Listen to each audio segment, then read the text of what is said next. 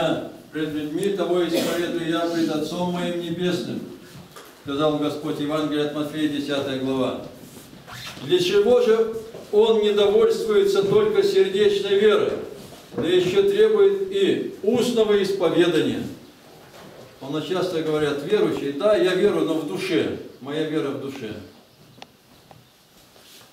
А для того должны мы исповедовать, чтобы побудить нас дерзновению, к большой любви и усердию и возвысить, почему и говорит ко всем вообще, а не разумея здесь одних только учеников, не их только, но и учеников, их старается он сделать мужественными. Кто будет знать это, тот не только будет учить других с дерзновением, но и претерпевать все легко и охотно.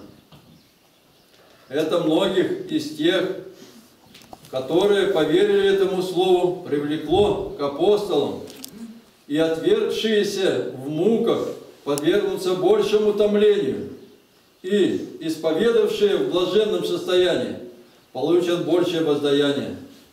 Когда праведник продолжительностью времени усугубляет свои приобретения, и грешник в отсрочке воздая наказание думает находить для себя выгоду, то он равносильно или еще несравненно больше предлагает воздаяние.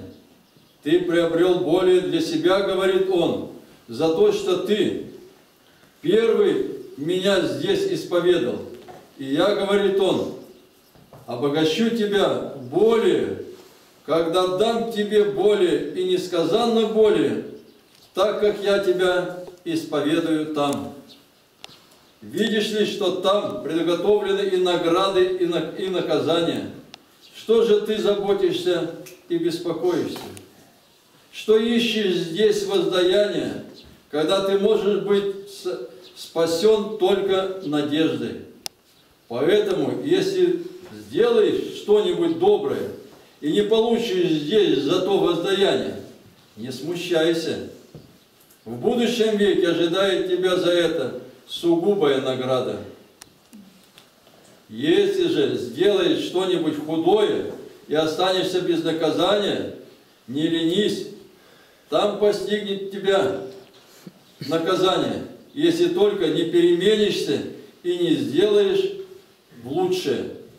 А когда не веришь этому, то из настоящего заключай о будущем. Если еще во время подвигов исповедники бывают так славны, то подумай, каковы они будут во время раздаяния венцов. Если даже враги прославляют их здесь, то не возвеличит ли и не прославит ли тебя человеколюбивший и всех отцов? Тогда будут возданы и награды за добрые дела, и наказания за злые, потому отвергающиеся и здесь, и там будут мучиться. И апостольское чтение послания к евреям говорило нам о том, что какие мучения претерпевали ветхозаветные еще люди, которые только жили надеждой на спасение. А сколько мы сегодня намного их счастливее, что мы не надеждиков, мы знаем, что Спаситель наш Господь умер за нас и воскрес, чтобы и нам воскреснуть для вечной жизни. Аминь.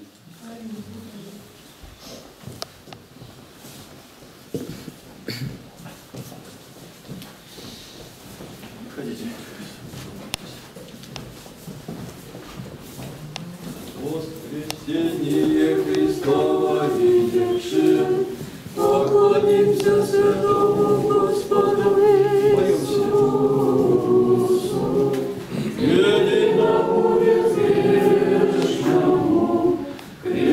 foi o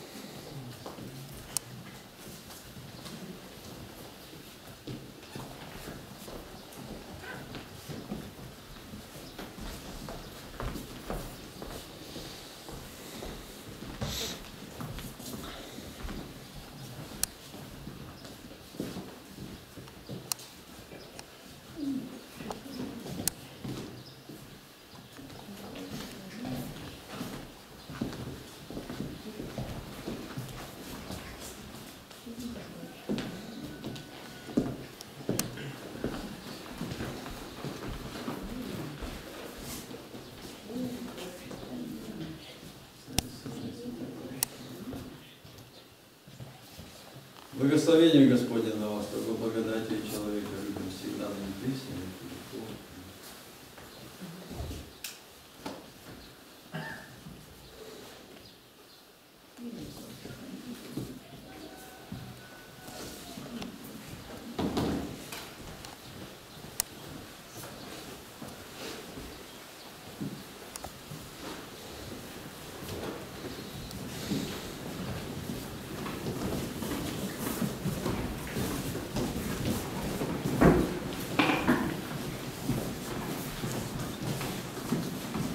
Sure.